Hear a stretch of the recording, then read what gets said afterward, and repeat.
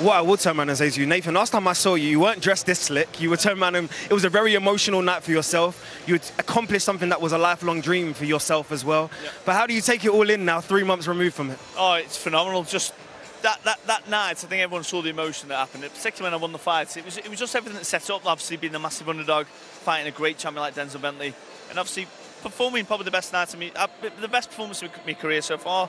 It was it was amazing, obviously, and obviously to bring back a major title to my city of Stoke-on-Trent.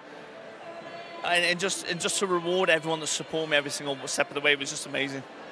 I asked you a question pre of that fight with Denzel Bentley about the importance of the British belt to you and how prestigious that is as well.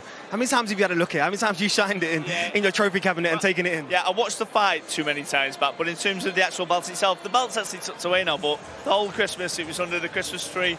So it's a nice little decoration under there, but it, it, yeah, it meant everything to me, and it was just, and I've always said if you win the British title, you never know what you can go on to in the future, so I've got to defend it now against Brad Pauls, and then hopefully go on to very good things in the future.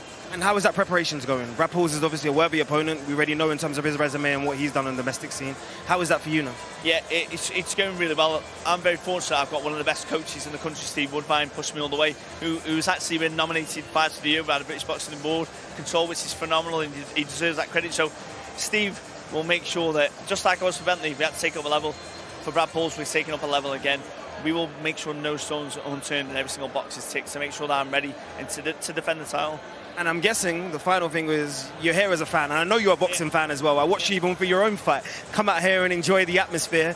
Do you have one eye on the main event? Do you have turn and, and a little bit of a scouting mission for yourself? Yeah, I never. uh, To be fair, I never really look at other opponents in terms of future fights, but I'm certainly going to watch them because I, I really like Liam Williams. I like Hamzah Sheeraz, but but uh, Liam Williams is one of my favourite fighters, so I'd love to see I'd love to see him do well tonight. So Obviously, obviously Hamzah, a Queensberry boy, but if, if Liam Williams is on it, I think he could be destructive tonight.